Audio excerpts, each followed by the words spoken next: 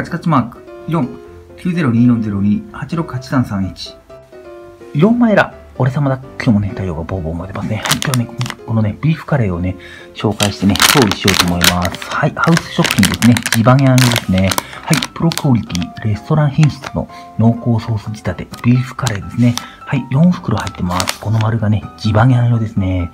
4様はペ様と言い換えられるからね、4袋入りはペ袋入りとも言い換えられますね。でもね、4ってね、数字は意味が悪いんでね、あと1袋おまけしてね、もちろん値段はそのままでね、と5袋入りね、してほしかったですね。辛口です。そう、俺様はね、辛口が好きだからね。はい。はい。ではね、後ろにはね、この、こう調理例がね、書いてありますね。えー、なんかごちゃごちゃと説明がね、書いてありますね。はい。では早速ね、開けて調理していこうと思います。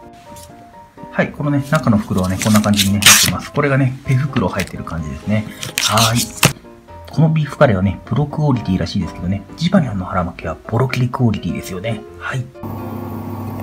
はい。ではね、このね、ブクブクね、沸騰させたね、まだあんまり沸騰してないけど、まあ、ちょっと沸騰してるんでね、このね、ブクブク沸騰したお湯にね、これで入れようと思いますね。そう、ここにはね、3分から5分ぐらいの間って書いてあるんでね、間を取ってね、ペフンぐらいがいいんですかね。はい。まあ、ペフンじゃ足りないかもしれないからね、5分ぐらい入れようと思います。はい。はい。できましたね。そう、ウィスパー色もしくは小松さん色のね、ご飯にね、カレーですね。はい。とっても美味しそうですね。欲を入れればね、卵を入れればよかったね。はい。それでは口を開けて。あーん。うん。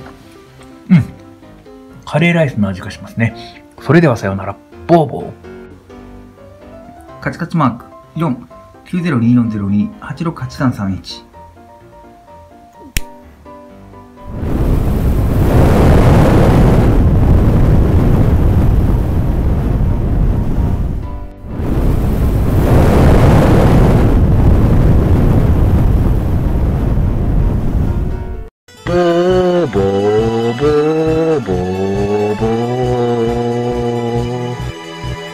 4、902402-868331。燃やす